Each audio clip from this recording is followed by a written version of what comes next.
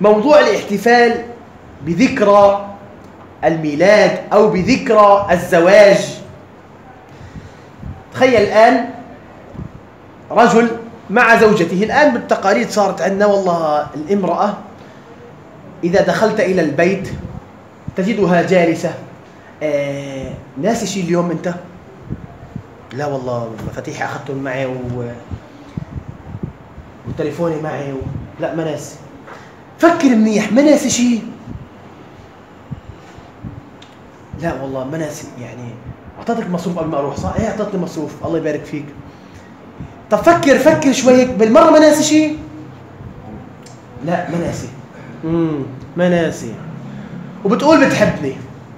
وبتضرب بوز بسم الله ما شاء الله. اليوم ما بتذكر إنه ذكرى زواجنا. آه ذكرى زواجنا وبيقعد يضرب اخ كيف بنسى أنا؟ ذكرى زواج وأخماس باسداف يقعد يهكى الهم وأركض شوف مهم بدك تجيب هديه ولا كيف بنزل لا أنا أساسا متذكر بس عامل لك اياها مفاجأة. وانزل بنص الليل فتش بالمحلات وين في محل فاتح وبدك تجيب هديه وكذا إيش؟ عشان عادي ورثناها من الغرب. لتعظيم هذا اليوم إنه يوم والله فيه مناسبة. يوم له أهمية عند المرأة أو أهمية عند الرجل وإن كان لا أصل له في الشرع. تخيل طبعا ولله المثل الأعلى أنا باب ضرب مثل من باب التقريب. أن تكون هناك أيام يعظمها الله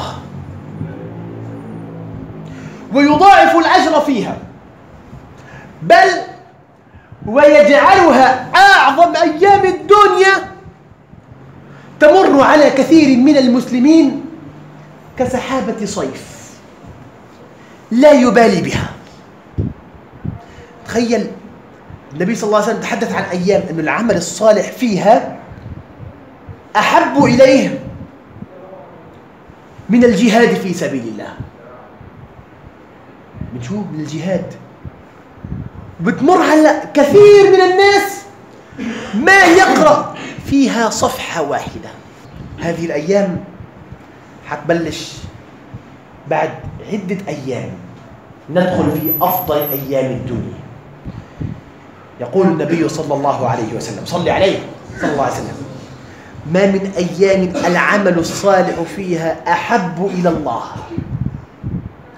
من عشر ذي الحجة. قالوا يا رسول الله صلى الله عليه وسلم ولا الجهاد في سبيل الله؟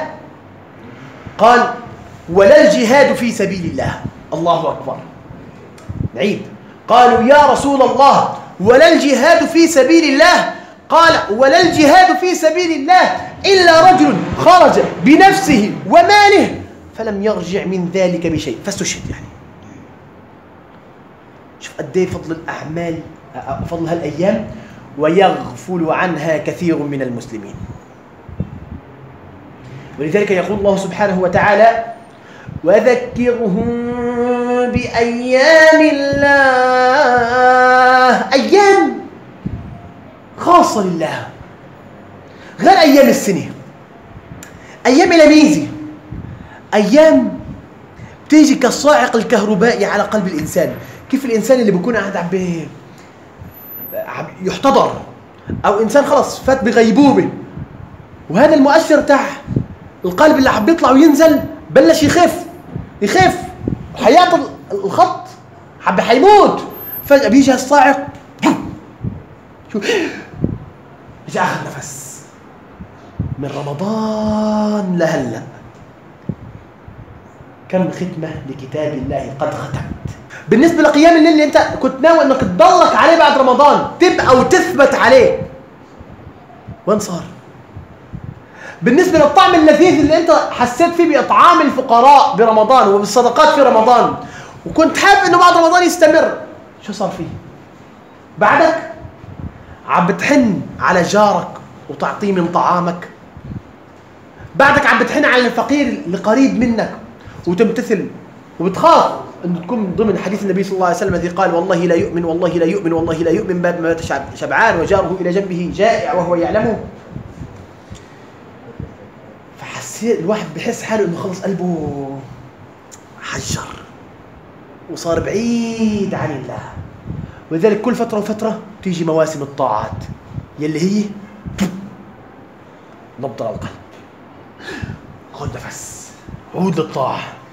يا أيتها النفس المطمئنة. يا أيتها النفس المطمئنة. ارجعي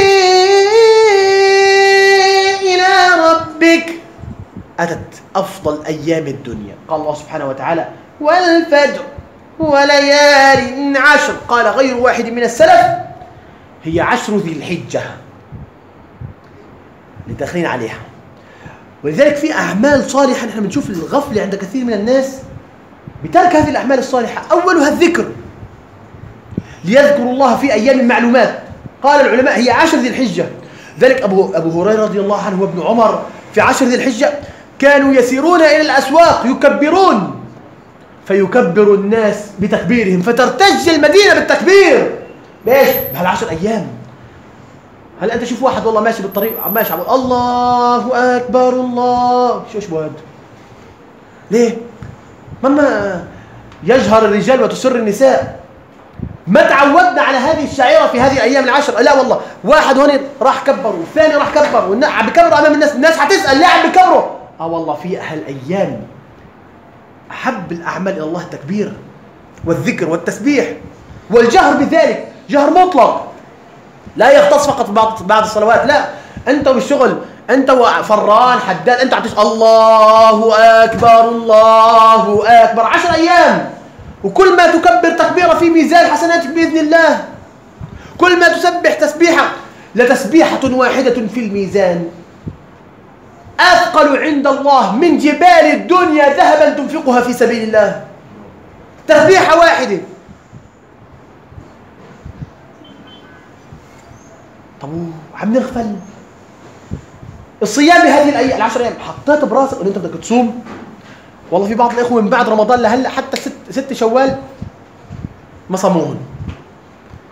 النبي صلى الله عليه وسلم ما كان يدع كما في مسند الإمام أحمد رحمه الله ما كان يدع صيام هذه العشر أو التسع بالأحرى.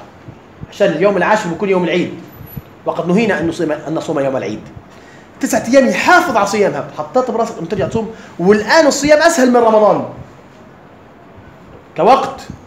الآن بياذن قبل ما كان برمضان كان عم بياذن يعني خفت ثلث ساعة من من الفجر وثلث ساعة من من المغرب. حطيت براسك أنه أنت تصوم. ولا بلش من والله ما بقدر على يا أخي وين الجهاد؟ وين الصبر؟ وين الثبات؟ وين أن تضمن نفسك هلأ؟ وتعطش هلأ؟ عشان في يوم مقداره خمسين ألف سنة. حتوقف تحت حرارة الشمس. فرب العالمين يجتبيك من بين خلقه ويظلك تحت ظله تحت ظله يوم لا ظل إلا ظله ويدخلك من باب الريان. شوف الريان يعني الارتواء. كل الناس عطشانين. بس انت عشانك عطشت بالدنيا وهيك عم بيشربوا. يا عم ريقك نشف. بس يقول هن حينشف يوم القيامة بس انت حتكون لا وضعك غير. انت عطشت بالدنيا والجزاء من جنس العمل. انت ريان بيقول لك واحد شبعان إذا انتفخ من الأكل. خلص أكل حتى شبع. ريان شرب حتى ارتوى. خلص بالمرة تعال واحد شرب أول كوبايه ثاني كوباية خامس كوباية. خد لا يا أخي ارتويت. باب اسمه الريان. شوف اليوم اللي الشمس مش هلا بهالبعد مقدار ميل. قيل الميل الذي يكتحل به. هذا شايف اللي بنحط الكحل. هذا الميل. تخيل الشمس فوقك هيك. الآن إذا بدك تعمل تجربة خفيفة اللي هي نوع من أنواع الراحة جرب ادخل على غرفة سونا قد فيك تتحمل مثلا وزيد الحرارة شوي. أول ما تقول اللهم أجرنا من نار جهنم. فأنت شو شوي فحمتين محطوطين حدك. طب جاي هاليوم؟ وهالاعمال تضاعف فيها الأعمال؟ والفجر وليال عشر قيل هذه الأيام العشر أفضل عند الله من عشر من العشر الأخير من رمضان. كل يوم بهذه الأيام أفضل من أي يوم من أيام السنة. حطيت براسك إن تتقرب إلى الله بهذه الأيام. هذا هو السؤال. تذكير بأيام الله. بأمور أربعة. بقراءة القرآن اولا وكان كثير من السلف يختم ختمة بإيش؟ بأيام العشر ذي الحجة. ختمه كل يوم ثلاث أجزاء. بياخذ معك ساعة ساعة ساعة ونص. قسمهم. ساعة ونص لله يا أخي. نصف ساعة بنص ساعة بنص ساعة بتخلص. بهالأيام العشر أو التسع ان شئت زيد على حالك شوي بتخلص ختم القرآن.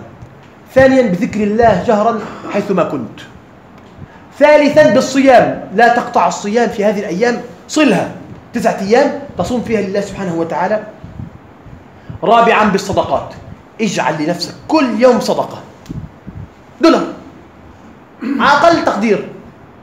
طبعا ومن فتح الله عليه وكان ذا نفس آه، كريمة جوادا. ما بيرضى لك شو دولار. أنا رب العالمين أكرمنا اياتنا عم بقبض 600 700 دولار. أعمل أنا 10 دولار من هول كله بس.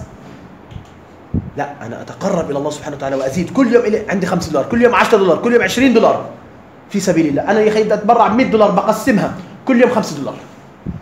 لحتى أصيب الصدقات في كل هذه الأيام. فهكذا حتى وذكر أهل بيتك. يعني فوت على والله على البيت تقول مرتك ما عم بشوفك كامش مصحف. كلكم راع وكلكم مسؤول عن رعيته اولادك آخر مرة كمش المصحف وقعد يقرا إمتى؟ إمتى؟ طب ما هو انت هتنسأل عنه يوم القيامة؟ ولا بس شغلتنا نحن نأتي بالمال؟ بس تربية أبدان وليس تربية أو إطعام الأبدان مش تربية هي. لا, لا يطلق عليها التربية. زوجتك وولدك. يا أخي اقعد انت وياهم خلونا نقرأ جزء سويا. أنا أقرأ صفحة وترجع أنت تقرأ صفحة ترجع أنت تقرأ صفحة. لينتهي الجزء بحلقة. أوه ما أطيبها وما اجملها وهالشيء اللي حيربي بأولادك إنه لقدام يحترموك. لقدام لما تكبر ما يعلوا صوتهم عليك. عشان انت فعلا كنت إمام لهم مش كنت مجرد رجل عم بصرف لا انت كنت قدامهم قدوة. كنت قرة عين لهم كان لما يشوفك أنا لما أكبر بدي أكون مثل والدي. عشان عم بخاف رب العالمين. عم يوقف فينا إمام بالبيت. عم بيقرأ قرآن معنا. وعم بيقول لنا هذا حلال وهذا حرام. وعم بيقول لنا اتق الله. اللي حيمنعه من العقوق الابدان موضوع إنه هل بيتقي الله ولا ما بيتقي الله. أقول قولي هذا واستغفر الله لي ولكم فيفوز المستغفرين استغفر الله.